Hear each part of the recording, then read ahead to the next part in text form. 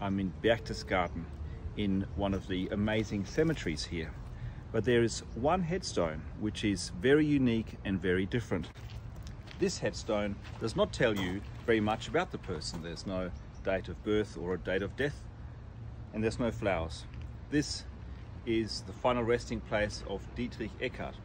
He was a member of the, the Thule Society, so he was a Thulist. He joined the Thule Society in 1913 uh, and the political offshoot was the German Workers' Party, which later became the National Socialist German Workers' Party. He was the initial publicist of the Nazi newspaper, the Völkischer Beobachter. Dietrich was a person who had an enormous amount of influence over the Nazi Party and Adolf Hitler in particular, which is why this grave marker has very little information and has no flowers on it in Germany today.